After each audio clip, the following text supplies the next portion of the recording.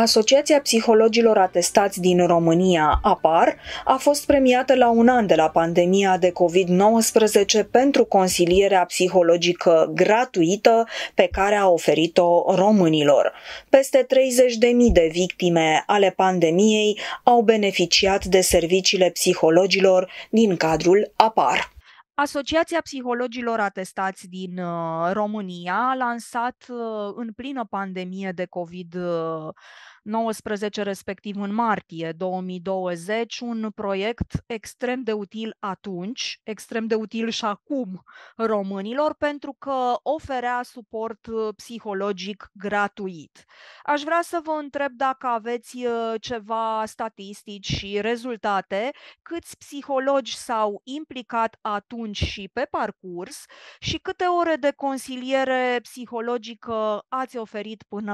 acum românilor. Ne mândrim cu acest proiect uh, pe care l-am lansat din 15 martie 2020 când s-a instalat pandemia. Practic, uh, Asociația Psihologilor Atestați din România a creat comunități la, în toate județele din țară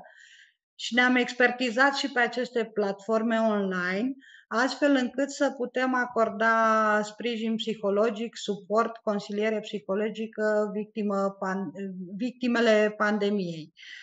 Am avut o colaborare foarte bună cu linia 9 SOS, care la nivel național a avut colaborarea cu direcțiile de sănătate publică.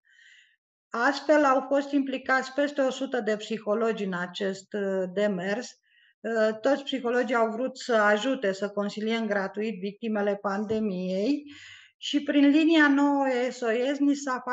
ni s-a facilitat accesul uh, către victime, în sensul că orice român, chiar și din diaspora și de la nivel național, putea suna la numărul scurt 9 SOS și era direcționat la un psiholog care, avea, care era liber în acel inter, interval orar. La un an de la pandemie am fost premiați pentru consilierea a 30.000 de victime ale pandemiei. A fost un real succes acest uh, proiect și pentru consilierea românilor, dar și pentru noi ca și comunitate, în sensul că noi ca și comunități în toate județele din țară, ne, de atunci ne întâlnim în fiecare zi de joi pentru noi și ne intervizăm profesional în sensul că și noi ca psihologi avem nevoie să ventilăm emoțional, pentru că au fost cazuri foarte grele și a fost nevoie de susținerea noastră Uh, astfel încât să putem face față la acel uh, vampirism energetic uh, prin care am trecut, pentru că au fost foarte multe victime de consiliat. Cei de la linia 9 SOS au cuantificat 30.000 de victime consiliate prin linia telefonică și prin psihologii din cadrul Asociației Psihologilor Atestați din România. Și în tot acest greu a fost și această parte de bine pentru că noi ne-am consolidat ca și comunitate mare la nivel național prin comunitățile mici din uh, teritoriu. Și în această zi de joi rămâne în continuare ziua noastră de intervizare profesională, în care dacă avem un succes la cabinet, ventilăm această bucurie, dacă avem un caz greu, ceilalți vin în ajutor cu propuneri, sugestii, cu empatia de a ne pune în pielea persoanei care este ă, cu un caz greu. Chiar și aseară, la joi de la ora 20, am avut un caz foarte greu cu o colegă de a consilia o fetiță care a pierdut mama, care a decedat mama ei. Și atunci comunitatea a fost foarte aproape de colega aceasta. De unde va venit uh, recunoașterea acest uh, premiu și ce înseamnă pentru APAR? Acest premiu este decât o cuantificare a muncii noastre în echipă. Ne-a fost oferită de, de partenerii noștri de la linia 9 SOS. Noi ne mândrim cu acest proiect pentru că a consolidat și comunitatea noastră. Ne-am dat seama că făcând echipă putem crea Uh, un ajutor și mai profesionist asupra semenilor noștri. Așa ca psihologi solitari, putem avea un succes la cabinet, dar crește exponențial când ești într-o comunitate în care aparții, în care apartenența face minuni și am putut dezvolta și la nivel național, dar și în diasporă. Și am putut cuantifica această armonie din comunitate și prin uh, evenimentele care le organizăm. În fiecare an organizăm conferința națională cu participare internațională, care cuantifică acest rezultat prin uh, energia pe care o dă comunitatea. Care au fost uh, cele mai uh, frecvente și mai mari probleme pe care le-au reclamat beneficiarii acestui program în ceea ce privește COVID-19 asupra lor? Cele mai mari probleme au fost legate de faptul că dintr-o dată am fost izolați, nu am mai putut merge la serviciu, respectiv copiii la școală și această situație era pentru prima dată în viața fiecăruia dintre noi. A fost foarte greu de integrat această traumă pentru noi toți, dar uh, unii dintre noi avem uh, și mai mari vulnerabilități și atunci s-a dezvoltat uh, la persoanele cu, uh, cu această vulnerabilitate psihică uh, stări de depresie accentuate, de anxietate, de traumă severă, cu insomnii, cu atacuri de panică, cu fobii, a crescut violența domestică, Vă imaginați soțul și soția care erau în conflict, dintr-o dată au fost nevoiți două luni să nu poată ieși din casă și atunci au uh, exacerbat și aceste conflicte în familii. Iar uh, psihologii din cadrul APAR au manageriat adecvat aceste stări de a ajuta românii să, se integre, să integreze adecvat această criză pe, pe care ne-a lovit pe noi toți. V-ați oferit ajutorul și cadrelor medicale. Câte dintre ele, mă refer aici medici, asistenți medicali, uh, uh, alte categorii de personal uh, medical, au apelat la serviciile oferite de membrii psihologilor atestați din România și vă întreb acest lucru în contextul în care se știe că, mm, în general, cei care lucrează în sănătate apelează mai greu la astfel de servicii. Așa este, într-adevăr, cu toate că noi am promovat uh, foarte mult și ajutorul către cadrele didactice, începând de la infirmiere, asistente medicale și medici, numărul a fost mai redus. Dar am aplicat o altă strategie, în sensul că în cadrul Asociației Psihologilor Atestați din România avem foarte mulți psihologi care lucrează în spitale. Și atunci psihologii clinicieni din cadrul spitalelor uh, aveam întâlniri focusate pe uh, terapia de grup cu cadrele medicale din instituția în care lucrează. A fost adresabilitatea mai mare din partea cadrelor medicale face-to-face la fața locului acolo în spital decât prin linia nouă SOS cu care am avut colaborarea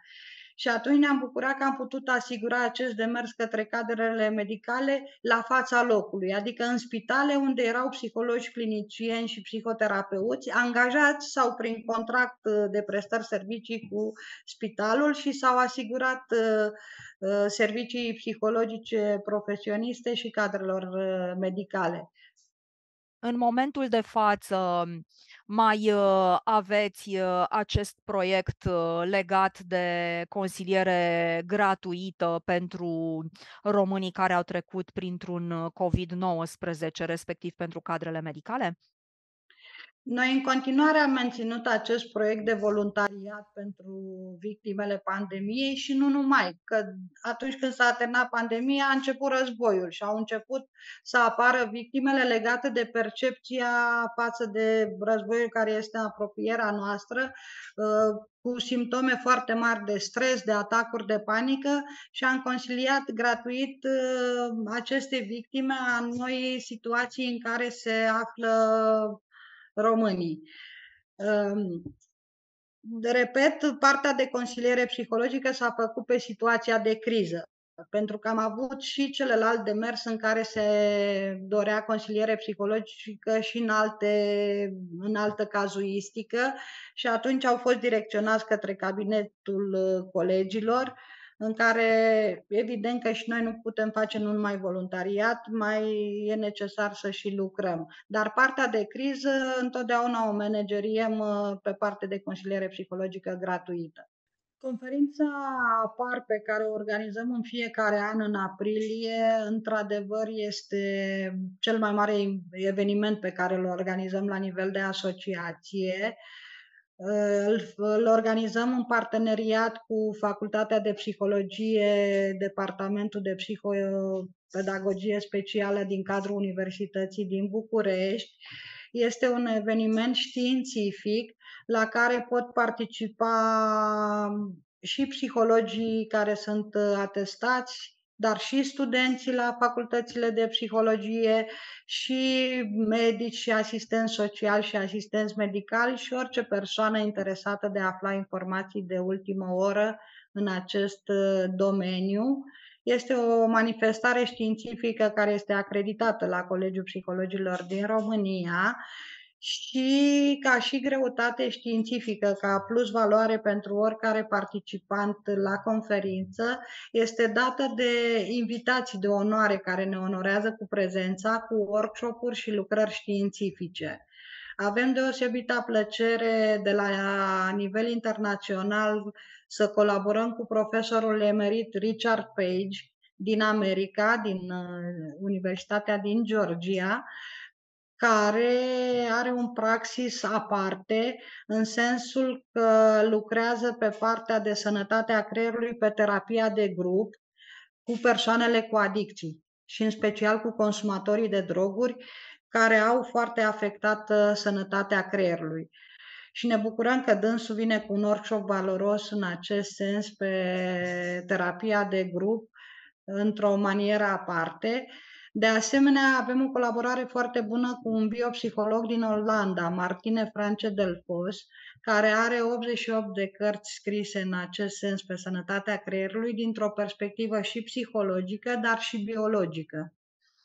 și dânsa ne va onora cu un workshop uh, foarte valoros în cadrul conferinței și de actualitate, iar de la nivel național avem foarte mulți invitați de onoare, printre care domnul academician, profesor universitar Leon Dănăilă, cu un praxis desăvârșit din cadrul uh, neurochirurgiei, dar și a psihologiei, că dânsul, pe lângă